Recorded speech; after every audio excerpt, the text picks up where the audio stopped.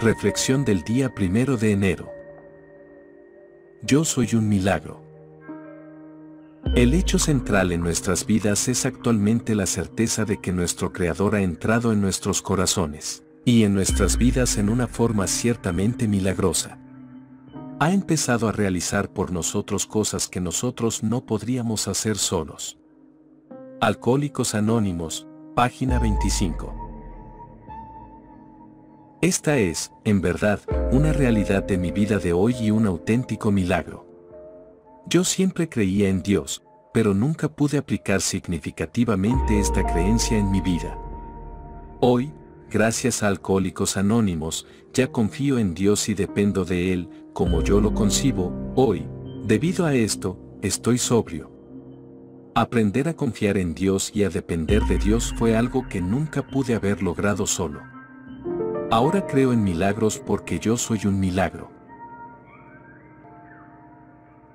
Pensamiento del día. Cuando llegué a A, ¿era yo una persona desesperada? ¿Tenía una enfermedad del alma? ¿Estaba tan asqueado de mí mismo de mi manera de vivir que no soportaba mirarme en un espejo? ¿Estaba preparado para cumplir con A?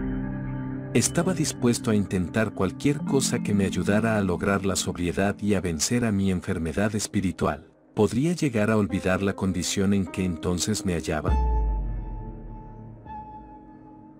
Meditación del día. En este nuevo año viviré un día cada vez. Haré que cada día sea de preparación para mejorar. No me ocuparé del pasado ni del futuro, tan solo del presente.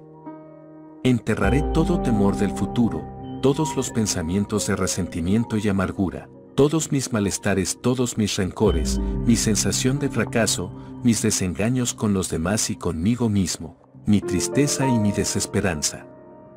Enterraré todas estas cosas y en este nuevo año, seguiré adelante hacia una nueva vida. Oración del día. Pido que Dios, en el nuevo año, me guíe un día cada vez. Ruego que cada día Dios me proporcione la sabiduría y la fortaleza que necesito.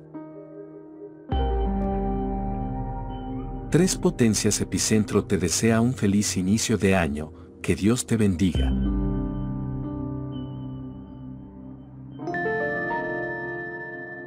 Gracias por tu apoyo, comparte este video y regálanos un like. Estos videos son creados en los estudios digitales de Tres Potencias Epicentro.